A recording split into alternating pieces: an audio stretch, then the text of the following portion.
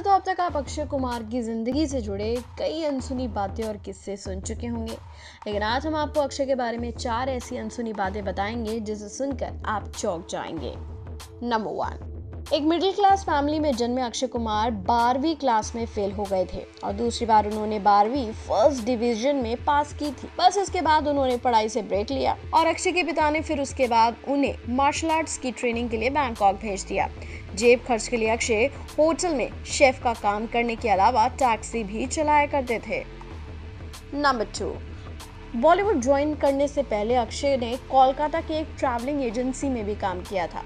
बाद में वो दिल्ली से कुंदन ज्वेलरी खरीद कर मुंबई जाकर बेचा करते थे और लौटते समय मुंबई के फ़ैशन स्ट्रीट से कपड़े खरीद कर दिल्ली लाकर बेचा करते थे। दोस्तों की सलाह के बाद फिर उन्होंने मॉडलिंग का फैसला किया और मशहूर फोटोग्राफर के असिस्टेंट हो गए और असिस्टेंट के रूप में उन्हें डेढ़ साल मुफ़्त में काम करना पड़ा। नंबर थ्री अक्षय की बॉलीवुड डेब्यू फ़िल्म का नाम आज था। जिसमें उन्होंने कराटे ट्रेनिंग इंस्ट्रक्टर का सिर्फ़ सात सेकंड का रोल किया था।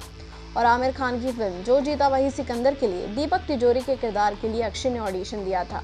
लेकिन उन्हें रिजेक्ट कर दिया गया। इसकी वजह ये थी कि दीपक तिजोरी, आमिर खान के दोस्त थे, जबकि अक्षय का कोई फिल्मी बैकग्राउंड नहीं था।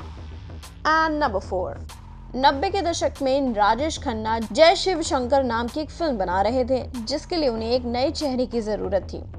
तब अक्षय भी काम मांगने पहुँच गए। राजेश खन्ना ने अक्षय को चार घंटे तक इंतज़ार करवाने के बाद उनसे मिलने से मना कर दिया और अक्षय इस घटना को अपनी ज़िंदगी का सबसे बुरा एक्सपीरियंस मानते हैं। लेकिन देखिए, आज वही अक्षय कुमार राजेश खन्ना के